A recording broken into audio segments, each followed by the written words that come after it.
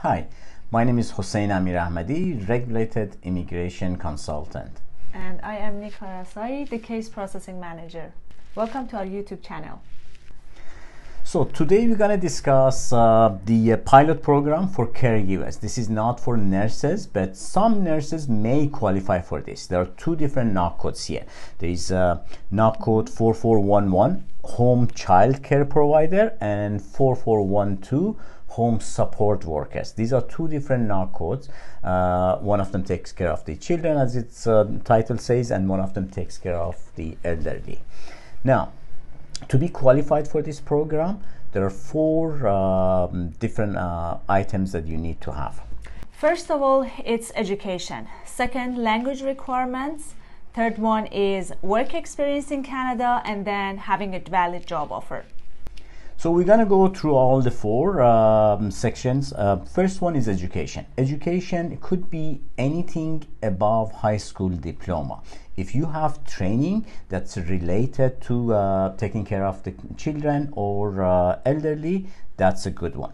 Now, your education has to be evaluated either by WES or the other uh, four organizations that give you a report of uh, what's your uh, equivalent to the uh, Canadian uh, degree.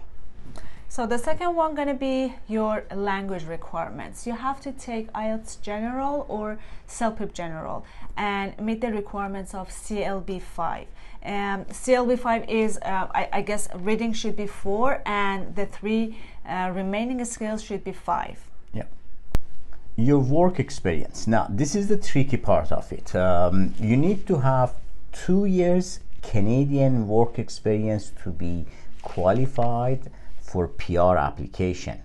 But without a work experience, you can apply for this program and then they give you a work permit for 36 months to come into the Canada, um, work for 24 months, and then finalize your uh, application. So the way it works, you gather all your documents, uh, you apply for your PR, at the same time you're applying for the uh, work permit. This work permit is uh, occupation specified, so it means that uh, you can work for any employer but for the same job, for the same NOC code. You cannot work as a cashier or you cannot go and work in a, a restaurant, but um, for any other employer than the uh, employer that gave you job offer, you can do that. But if you already have the 24 months of Canadian work experience, you do not need the job offer.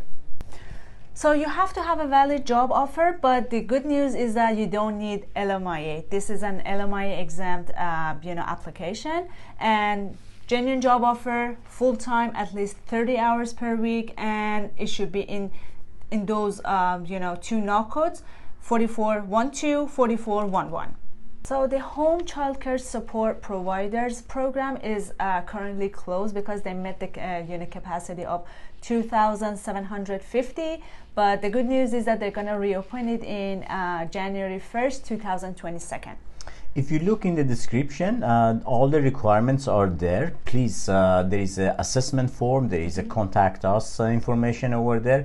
Email us with your information so we can assess your application and see how we can help you.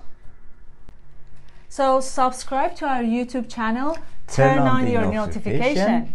So you will, uh, whenever we put on the uh, new videos, uh, you get a notified so you can see us. Leave us comments, uh, like our um, uh, videos so we can make more and more of these videos for you guys. Yes.